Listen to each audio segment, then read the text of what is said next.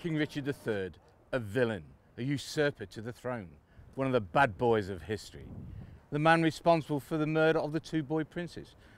He also got rid of another member of his family, the Duke of Clarence, who mysteriously was drowned in a vat of Malmsey wine here in the Tower.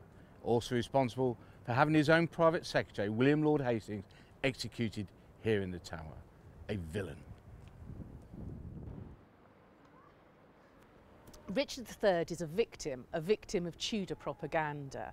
At its most extreme, he's presented as some kind of cross between a pantomime villain and a deranged serial killer creeping round the tower, bumping off various friends and relatives. It's fair to say that Richard was not the perfect king, and he probably wasn't the perfect man either, and he is associated with some dastardly deeds. However, it's very fair to say he's no better nor worse than any other king of his period. He's just self interested.